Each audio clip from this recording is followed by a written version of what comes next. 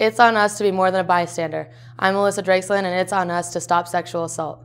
I took the pledge, and you can too, at itsonus.org.